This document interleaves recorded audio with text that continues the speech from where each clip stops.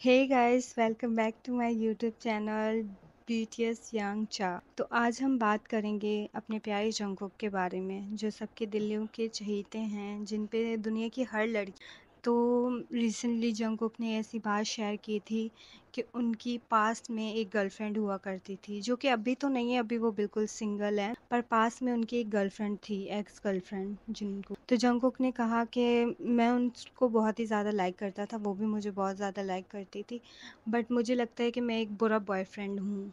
ऐसा क्यों कहा उन्होंने, ये मैं आपको बताती हूँ। क्योंकि जंकुक ने कहा कि आजकल के बॉयफ्रेंड गर्लफ्रेंड्स हमेशा डेटिंग पे जाते हैं, खाते, पीते, घूमते रहते हैं।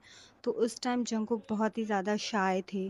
वो इतना शाय थे कि वो अपनी गर्लफ्रेंड के सामने ऐसे सर उठा के बात भी नहीं कर पाते थे। वो बहुत ही ज़्यादा शाय थे। वो ऐसे ऊपर गर्दन करके अपनी गर्लफ्रेंड से बात भी नहीं कर पाते थे। क्योंकि आप लोगों को पता है, हमारे जंकू कितने शाय और क्यूट पर्सन है।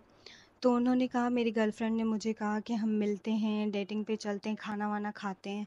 पर मैं जंकुक इतने शाय थे कि वो उनके साथ नहीं जा पाते थे। रोज़ उनकी गर्लफ्रेंड बोलती थी और रोज़ जंकुक कोई ना कोई बहाना दे देते थे। तो इसकी वजह से साढ़े दो सौ दिन जंकुक को वो रोज़ रोज़ कहती थी, पर जंकुक ना ना कहते थे। तो इसी वजह से उनका ब्रेकअप हो गया और जंकुक को वो छोड़ के किसी और के साथ चली गई। तो इसी बात से जंकुक को बहुत ही ज़्यादा बुरा लगता है।